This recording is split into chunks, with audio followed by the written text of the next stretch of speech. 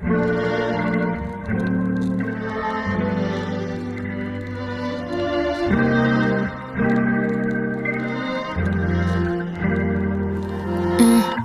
How can I tell if I'm in the right relationship? Aren't you really supposed to know that shit? Feel it in your bones and own that shit. I don't know. Then I had this interaction I've been thinking about for like five weeks. Wonder if he's thinking about it too and smiling.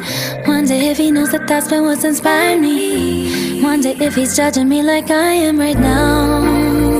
I don't care. I'd rather tell the truth, truth than make it worse for you.